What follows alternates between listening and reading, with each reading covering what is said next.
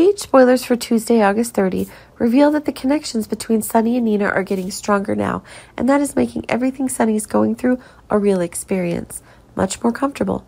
Despite the Corinthos family's ever stronger threats, they never seem to have any value for Sonny and Nina.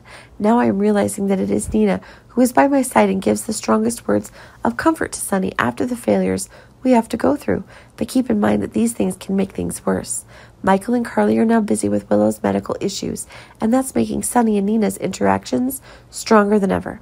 But it seems that in the coming times we can see that the tension that Carly herself is doing to reclaim the rights she has lost is more than ever. It's true that Sonny and Nina are going to suffer, and it's certainly not a pleasant one, but it also is Carly's senseless attacks that may make Nina and Sonny more attracted uh, to each other than ever.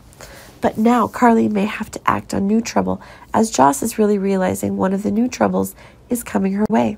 Joss is now faced with choices that lead to terrible misunderstandings coming her way. Joss is feeling very tired now that Cam's questions are increasingly driving her into one of the real troubles.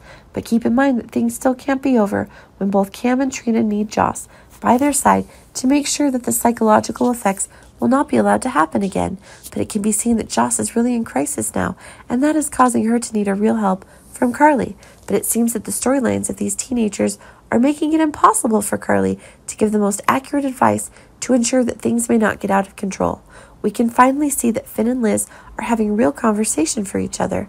It can be seen that everything Liz is going through is one of the horror, and that needs to be ended as quickly as possible. Finn is trying to be nice to Liz, but that doesn't seem to be working, and that's really making things explode.